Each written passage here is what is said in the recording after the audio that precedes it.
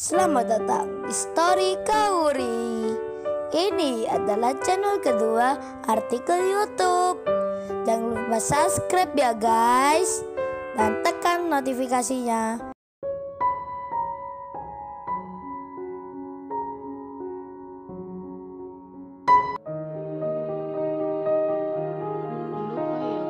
Kisah pemuda kaya, anak bos besar, pemilik 73 perusahaan yang menjadi cleaning service. Episode 130. Seiring berjalannya waktu, telah membawa ke sebuah takdir. Bertemulah dua nama, yang mana mereka itu, dua orang yang berbeda. Ketika pesan itu masuk, segera saja terbaca oleh sang pemilik restoran. Saat melihatnya, seolah tak percaya, karena yang tertera adalah namanya sendiri. Jadinya, si Rena ini sedikit agak bingung. Ia melihat lagi, memeriksa, apakah benar ini adalah pemesan sungguhan. Kemudian, dilihatnya nomor telepon, alamat rumah yang memang benar adanya. Si Rena ini pun, yang tak lain teman SMP-nya Kensin, menjadi heran karenanya, nama pembeli ini, kok bisa sama, dengan namanya sendiri. Lalu, tak menunggu lama, Sirena pun mencoba untuk memastikan apakah benar pemesan ini memang adanya. Kemudian, dihubungi nomor handphone itu. Dengan nomor kantor, telepon pun tersambung.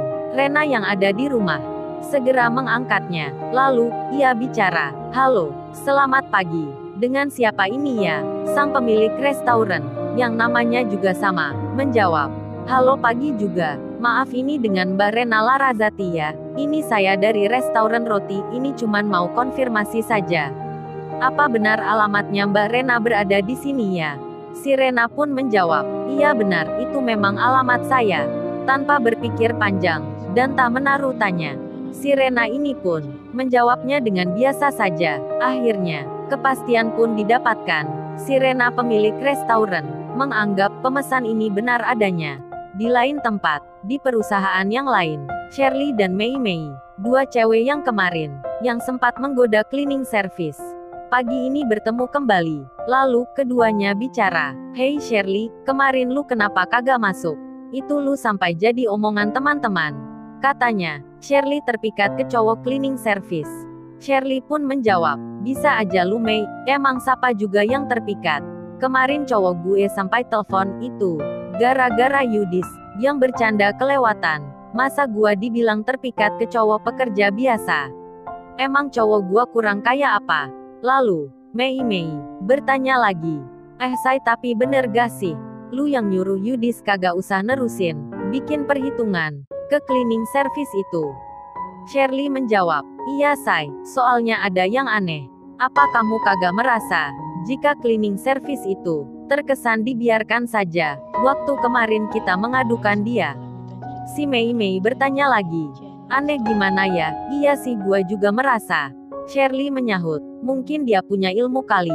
Ilmu yang bisa buat orang, jadi merasa kasihan ke dirinya. Hahaha, mereka tertawa. Lalu Shirley melanjutkan, coba aja lu bayangin, waktu gua kirim video itu ke Rena. Gua kagak sangka, si Rena pun juga sama. Entah mengapa, Tiba-tiba dia jadi marah ke gua. Padahal kan, yang dibahas cuman cowok cleaning service. Apa itu coba? Kalau ilmunya dia, memang beneran. Siapa pun yang melihatnya, pasti merasa kasihan. Tapi sama kita kok kagak ya say. Sahut Mei Mei. Shirley menjawab, kan kita ini wanita tangguh, gak gampang terpengaruh. Hahaha. Mereka bercanda terus, tanpa menyadari hal yang sesungguhnya. Kauri, Hari ini juga sama, memulai aktivitasnya lagi. Kauri terlihat sibuk membuka komputer kerjanya. Di sebelah samping kanan dan kirinya, terlihat pula beberapa temannya, yang juga sama sedang bekerja. Kauri melihat minuman yang ada di meja. Lalu ia berkata sendiri di hati, ini bukan Kenshin yang membuatnya, bukan pula yang menaruhnya. Kauri sampai segitu hafalnya, tentang tata letak dan ciri akan hadirnya. Dari segelas minuman, yang biasa ia perhatikan. Waktu pun berjalan, Ririn kini mengetahui, ada seorang wanita lagi, yang akan bekerja di tempat ini. Namun, ia tak menyangka, jika dia adalah salah seorang temannya Niken. Apalagi kemarin, dia pernah datang juga, menjenguk Kenshin. Ririn masih belum mengetahui jika si Rena adalah juga seorang pengusaha Yudis yang telah datang di kantornya sendiri bersama temannya. Buru-buru saja mereka menjumpai Shirley yang ada di tempat kerjanya.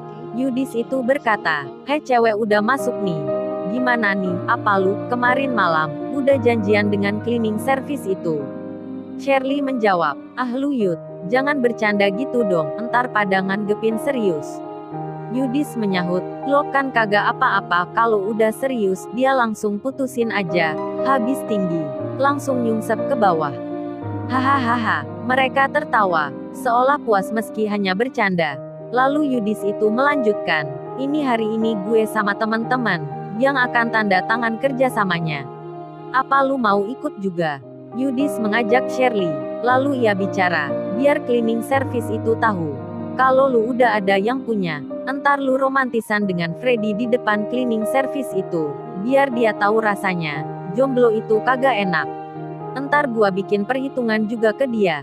Shirley, mendengarnya, cowoknya pun, si Freddy melihatnya, pertanda setuju. Dan rencana telah dimatangkan.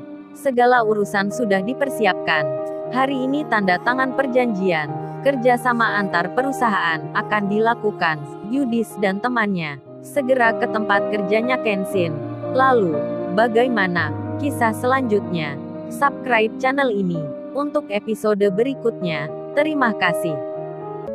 Jangan lupa ya guys, untuk kelanjutan ceritanya ada di channel Story Kauri. Jangan lupa subscribe ya guys. Dan tekan notifikasinya